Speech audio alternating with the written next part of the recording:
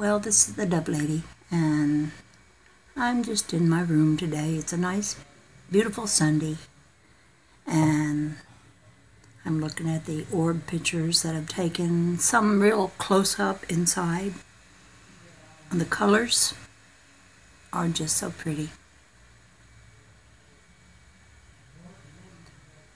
Sometimes I see the little circle areas being in the same place each time when the picture changes. It's another one with the circle in the same place. It seems odd to me.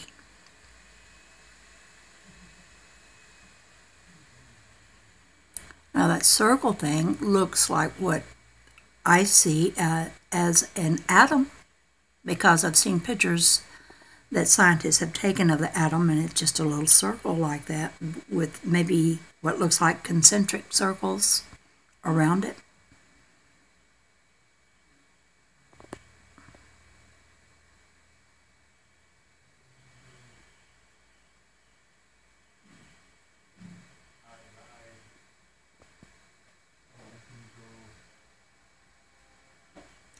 I used these pictures when I was reading something.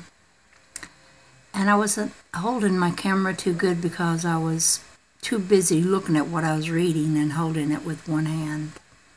And I didn't get all this as good as I wanted to get it.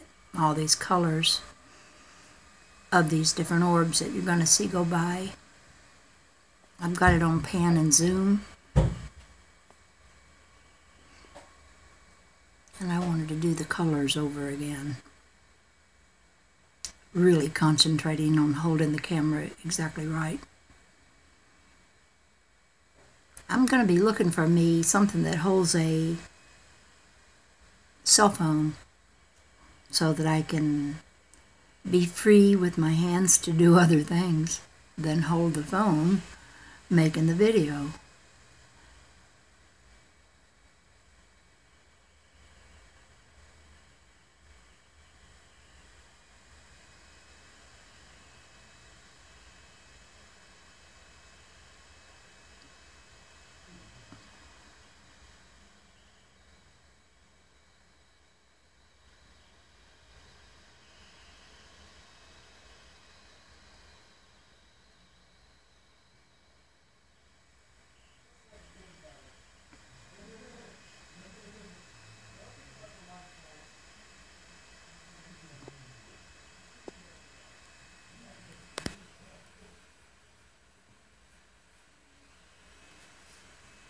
This is just an enjoyment of color.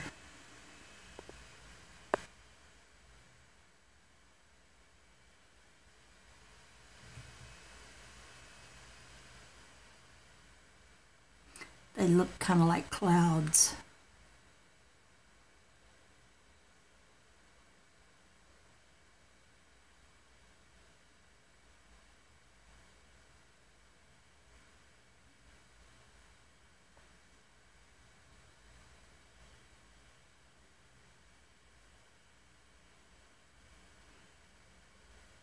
And there's the little star-like thing. I started seeing that, and it showed up in about the next three pictures, that little star thing in the middle there.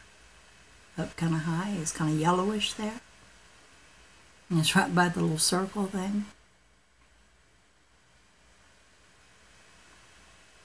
And there's to the right of the little circle thing.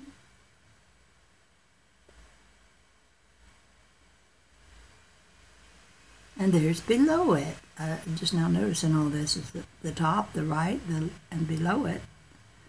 I think this is the last one it showed up in though.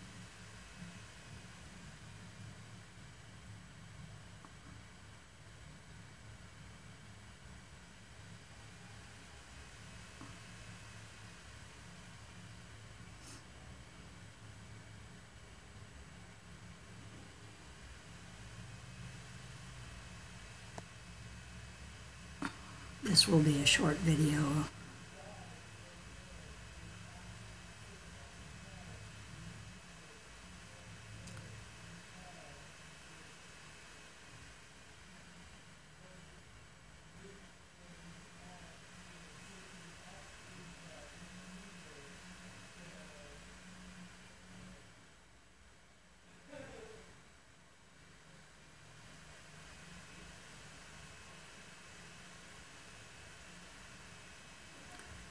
Think what I want to title it.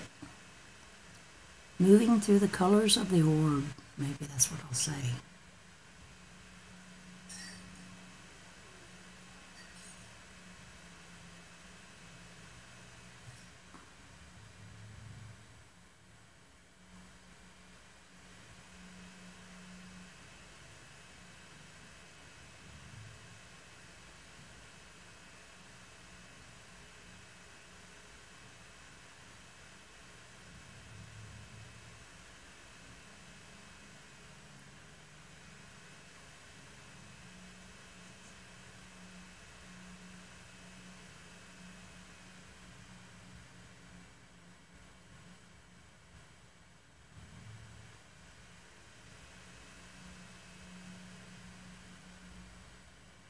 One's pretty. I like the purple. And the orange is gorgeous too.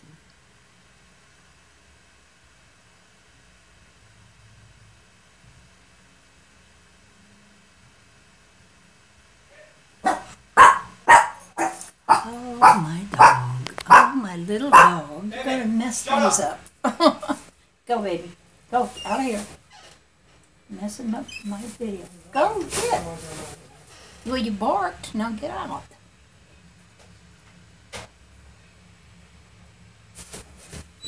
Open the door for her and she didn't go out. Little dogs, if they hear a noise anywhere, they've got to go investigate it. Now she's back up on my bed. I guess she got satisfied that it wasn't anything she needed to investigate.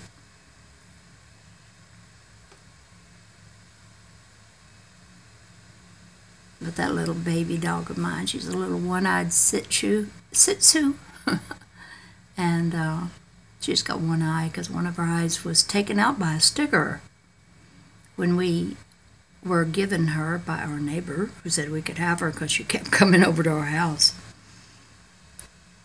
She had such long, shaggy hair, and a sticker was right close to her eye. They didn't even know because they didn't take her to get her groomed or her haircut. And that sticker had put her eye out. Anyway, we took her right away to get her groomed and her haircut.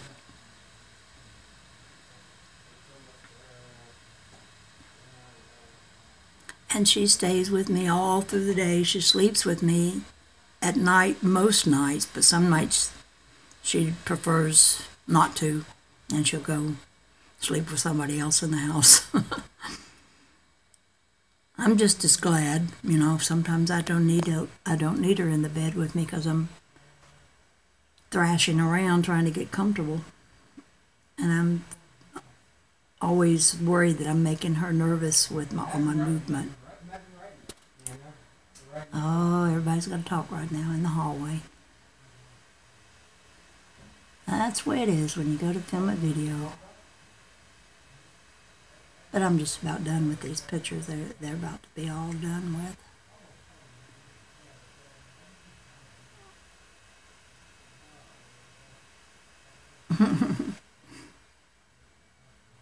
I see you, baby. You got those ears open, lifted up, because you're listening for every sound you can hear.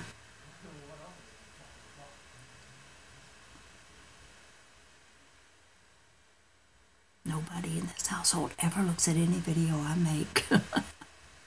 it's so funny. I think it's funny because I think these are darn interesting, but I'm not going to get the big head because nobody appreciates them around me.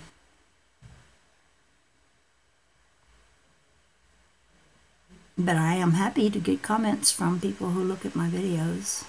They appreciate these uh, orbs or whatever they are, photons of light, atoms, I don't know. Sometimes I've called it aqueous substance and the etheric or what is in empty space or just anything. I've, just, I've called it many things. But I think it is the invisible that is more real than the visible. The invisible that all visible things come forth from. But the visible things that come forth, like me and you and all, every object you see around you, are illusion. They're not real. This is real. I think. But that's just, you know, my opinion. It's a strange world. Full color. It's as it is as if God had an artist's palette with all the colors to make things with and textures and all kinds of stuff. Well, then this is his palette of color that is the reality of the unreality that we are.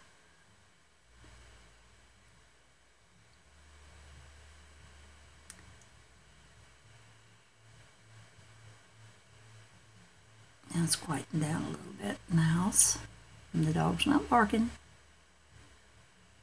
She's just waiting to hear something else, though.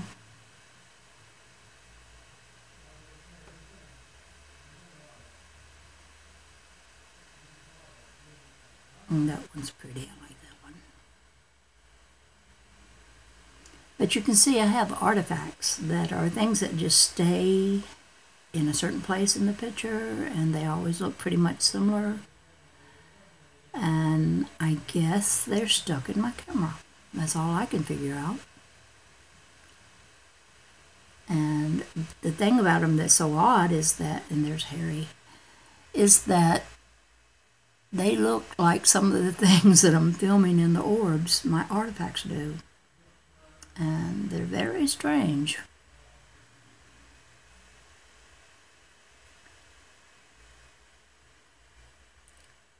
Sometimes I think, well, you just have to live with no explanations given for the experiences you have. And of course, you're going to put the only experience, I mean, the only explanation that resonates with you, you're going to put that interpretation on what you see until someone gives you a better idea that you think might be more believable. But for me, this little character, I call him Harry, he's a light creature. I think that's what he is. He always looks the same. And uh, he's, when I don't see him, I call for him and he usually shows up.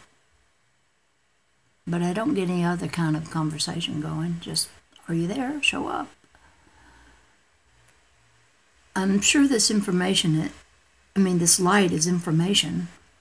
And I wish I could understand the kind of language it speaks. I got Harry over and over and over on this particular day that I was taking these pictures. It's like he wanted his picture made. But I have other things that, other than Harry, that kind of, for a while, will will be in all my pictures. One I call the patch, one I call the donut. And eventually they quit being there. They just go away. And but while they're there, they move into the view of whatever I'm looking at. I see them coming to the side or the from the bottom. You know, they just it's like things in this kind of dimension of light can move about. I think there is intelligence in this. It's just that I don't understand it. And I don't know anybody else who does either. But I know that it's not bugs and it's not dust. And see all those little circles? They may be what John Hagelin is talking about when he says the universe percolates rubber bands. Well, I see a lot of them. They look like little rubber bands. I don't know why he says that. Something, I guess, that he's discovered. You never really get to talk to anyone you'd like to talk to. Because if they're important and they're popular, they're busy. And they don't have time to answer all their emails or pay any attention to you at all. and it's probably not their fault. If I ever got popular, I, I wouldn't be able to answer every email either And I wouldn't like it that I couldn't, but that would maybe happen. I don't think I'm going to get that popular though. but the orbs should get popular. I mean, they're spectacular. They're beautiful.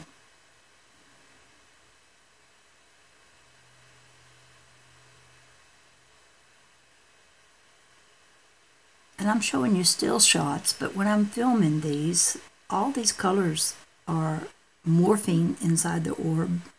Sometimes I don't even get the color that I saw before I click uh, before I click the picture because by the time I do, it's changed.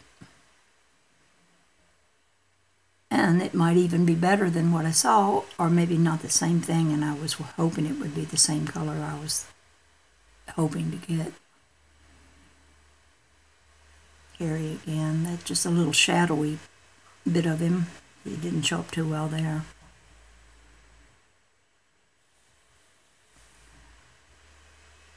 Well, I'm not going to make this a very long video, so I'm going to end it right about here. So, this is the Dove Lady, over and out for now.